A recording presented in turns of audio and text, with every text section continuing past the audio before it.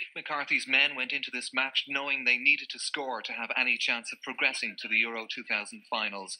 The loss of Stephen Carr with a leg injury inside six minutes was an early setback, and it was Turkey who had the best chances in the opening period.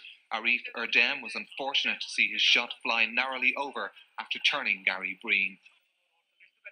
Kevin Kilbane and Roy Keane both went close for the Republic, but Mick McCarthy had keeper Dean Kiely to thank after the Charlton man distinguished himself with some fine stops to ensure the match remained nil-nil at the break. Turkey had the lion's share of chances in the second half and would have won convincingly were it not for a combination of poor finishing and the fine performance of Kiely in goal. After the final whistle had sounded, police were forced to come onto the pitch to break up a fight between rival players.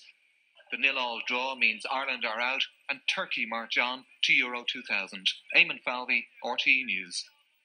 After the game, our sports editor Tony O'Donoghue got the reaction of the players.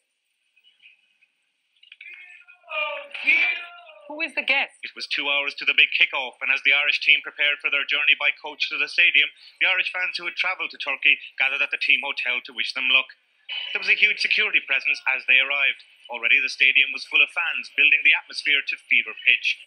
Mick McCarthy knew a hot and hostile reception awaited him, and his players and the 200 Irish fans were outnumbered by a thousand to one. As the game wore on, the tension grew. The longer Ireland held Turkey scoreless, the better the chance for a late goal that would steal the tie and ensure qualification.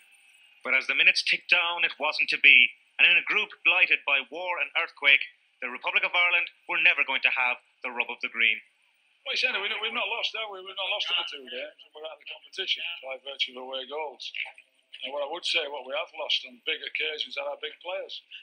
We lost Roy in Macedonia, we lost Quinny at home in Dublin, and we've lost Robbie tonight. And in reality, Quinny wasn't as as forceful as he would have been if he'd have trained and he hadn't a bad neck. So well, we've lost big players at big times, and I think that's cost us. So we move on.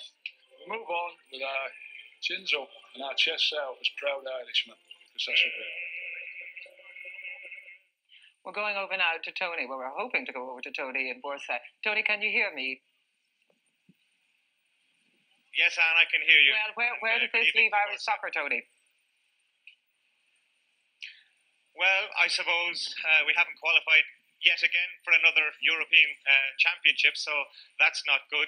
But there are a number of young players who have come through. Let's be honest, uh, Mick McCarthy has been very unlucky. There were a number of players uh, injured before this game, a number of players that weren't available. So a lot of new young talent has come through. That's hope for the future.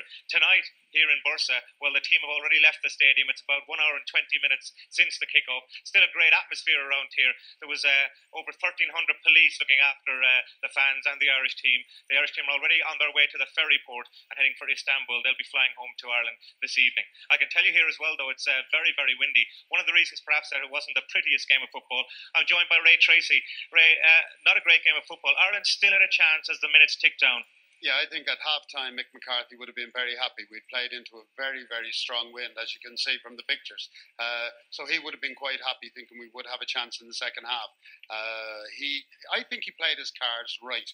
Um, I think he took every chance he had, given what he had at, at, at his disposal. So I think every player out there gave everything tonight. We didn't lose qualification here in Bursa. We probably lost qualification in Macedonia or perhaps in Zagreb against Croatia. Well, an extraordinary group it was indeed. I suppose you'll probably be glad to see the end of it. Uh, and it is the end for Ireland this evening. Uh, they're out of the European Championship 2000 campaign after a very arduous trip through the Balkans and all the uh, difficulties there, and a very difficult trip to Turkey as well. Turkey, who emerged the winners over the two legs. And uh, in the meantime, it's back to you in the studio, Anne.